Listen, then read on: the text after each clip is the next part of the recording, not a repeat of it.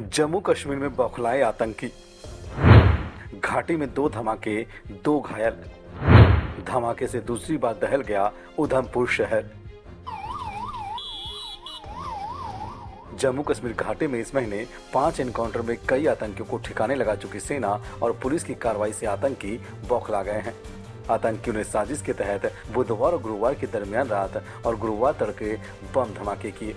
पहला धमाका एक पेट्रोल पंप पर खड़ी बस में हुआ, जबकि दूसरा धमाका उधमपुर बस स्टैंड में खड़ी एक बस में हुआ। ये धमाका आम लोगों को निशाना बनाने के लिए बसों में किए गए। राहत की बात रही कि धमाके में सिर्फ़ दो लोग जख्मी हुए हैं और किसी के जान जाने की खबर नहीं है।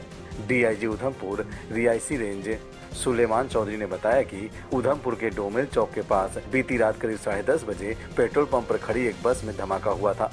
ठीक वैसा ही दूसरा धमाका आज सुबह करीब छह बजे पुराना बस स्टैंड के पास खड़ी एक बस में हुआ, जिसमें किसी के हताहत होने की सूचना नहीं है। हादसे में सात खड़ी गाड़ियों को भी नुकसान हुआ है। ब्लास्ट के कारण का पता जाँच के बाद पता चलेगा। पुलिस ने घेराबंदी कर दी है और साजिश सजने वाले को जल्द पकड़ने का दावा कर रही है। इससे पहले जम्मू कश्मीर के कुलगाम ज़िले में पिछले 36 घंटे के भीतर दो अलग अलग एनकाउंटर में आतंकी संगठन जैसे मोहम्मद के तीन आतंकी मारे गए थे। एडीजीपी विजय कुमार ने बताया था कि मारे गए आतंकी कश्मीर में हुए कई वारदातों में शामिल थे। घाटी में 36 घंटे में ये दूसरा एनकाउंटर है। इससे पहले कुलगाम ज़िले में सोमवार रात बेस बटपोरा इलाके के पास मुठभेड़ हुई थी। इस एनकाउंटर में सेना का एक जवान और दो नागरिक भी घायल हुए थे।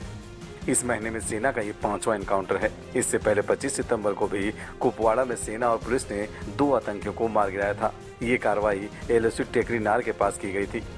दोनों आतंकियों के पास दो A K forty seven rifles दो पिस्टल और चार हैंड ग्रेनेड बरामद हुए थे।